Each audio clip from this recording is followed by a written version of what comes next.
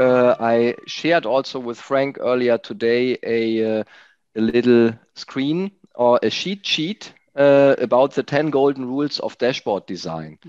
And uh, maybe uh, we can walk you through that little cheat sheet because then we have both. We have on the on, on one hand side, we have the form factor, uh, on the other side, more the function factor. So what you see here uh, uh, will be in the first chapter of the book, and throughout the book, there will be uh, more about it. There is a famous saying in design form follows function.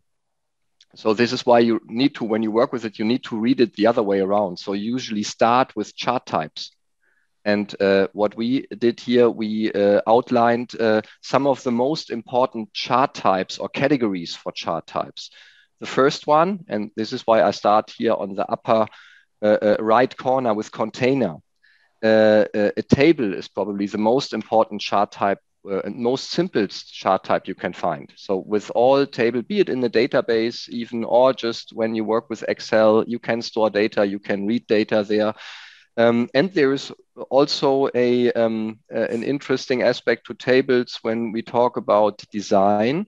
Uh, you probably all know um, uh, things like heat maps. And when you have a heat map, then that is nothing else but a table where the most prominent, the highest values are highlighted. And in this way, you have a bit of a pattern recognition when you when you just look at such a table and imagine there would be all shades of, of blue or of green or certain color here, you would see where the highest value in the table sits. Then by far, I would say the most important uh, chart type itself is a comparison chart. So be it a bar chart or uh, or line chart, but uh, since uh, Melanie talking about IBCS, the International Business Standards of Communication, uh, uh, where we also get many insights we also used for for the book or many ideas. So the comparison is usually the most important thing you need, and you have bar charts here or column charts that you use. Then the next thing is uh, we call it context. When you put something in a in a bigger context, for example, part of a whole, you can use a tree map, or and this is what this icon should here highlight: a stacked bar, for example.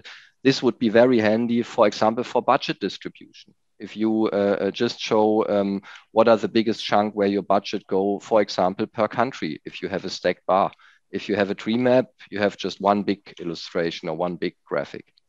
Then the next one that is heavily used by our customers, we called it to stick to this little game here, always start with a C. We call it continent, but it is for sure the geomap, something like that, you know, where, where you bind data geographically where it makes sense. And one thing you need to watch out, this is why in this little icon here, you see these, these bubbles. Watch out for something we call, or that when you work with data, you call the lie factor coming from Tufte, the lie factor. You need to uh, watch out for a truthful scale. That depends for the comparison chart here as well. The scale needs to be right, otherwise you will um, you will confuse your viewers. And the same is also with the geomap. Imagine um, uh, elections in the US, and you have a huge state with very little population. That can create the wrong impression. And this is why, if that would be the US, you need to put these bubbles on top uh, that you see what is the population for example, I don't know, maybe it is New York or California, and you have some states in the middle that are huge from a countryside perspective, but uh, have little population, and that would be misleading. That would be uh, uh, uh what Tufte said when he was talking about the lie factor. Then the last category we said the rest. You don't need them that often, but correlation and distribution. And here we are looking at a scatter plot, uh, at, a, at, a, at, a, at a box plot, sorry, box plot chart, and uh, um, that is something chart type that you need when you want to look at uh, distribution of set of measures. And this little dot that you can see here is an outlier. And outliers could be very interesting if you are a data scientist and you work with these chart types. Then have a look at the outliers because often they reveal interesting data stories. So that was the right-hand side here, the functional side. And now more you asked, uh, Kendall, about design. we are very keen about design. So uh, this is why we we laid out a couple of um, of rules uh, how to design. So first, uh, think about construction. It's a layout grid. Every designer thinks in grids. Design grid, layout grid. Uh, you have margins, you have gutters in between and columns. You need to make a plan, draw a grid, and then you can arrange your charts uh, on top of that grid. Then you talked about color. Get yeah, look after color theory and especially look uh, what it means to work with shades and tints. What I try to illustrate here is uh, uh, a tint. Tint is a color uh, um, plus white when it gets to white. Imagine you would have a heat map. Take that example again. Uh, you, we can go to US elections here. You have blue or red, depending on the party. And then you work with, with shades. Uh, you make it light blue or dark blue. If if there are many uh, uh, uh, voters or the elections went good for a certain party. And that is important. So pick one color tone pick one color palette and work with shades and tints to stay true to this very color palette.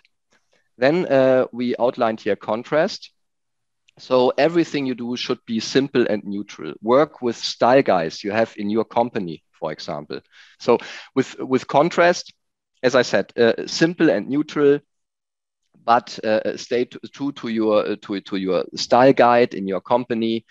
Uh, um, and if you don't work for Coca-Cola and it's all red, then uh, usually you have some important colors left. We call them semantic colors, like red or green, and they can help if you, for example, want to highlight something is good and something is bad in comparison to last year or to another category you want to compare it with.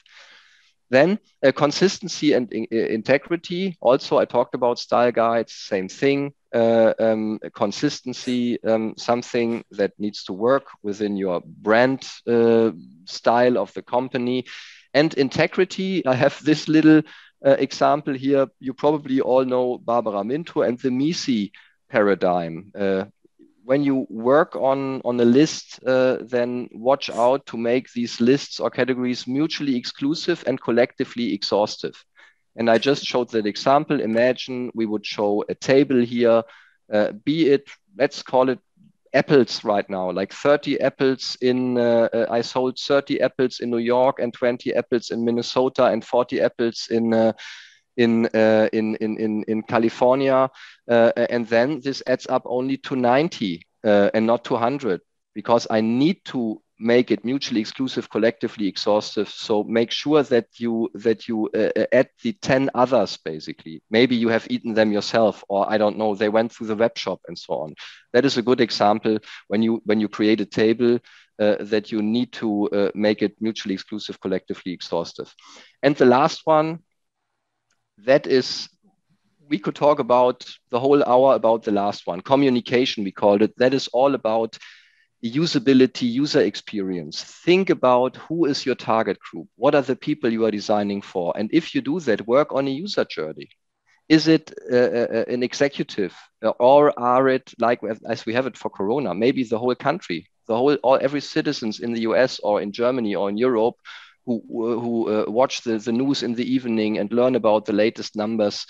Um, when you do that, very important um, um, or an, a good idea is to focus on the user's journey and design for the most exciting and final moments first. Um, that is called the peak end rule. And it's coming from a famous book by uh, uh, Kahneman, the physicist, uh, thinking fast, thinking slow. So peak end rule is a little hint here. And now I'm, I'm talking too much. I should stop and back to you.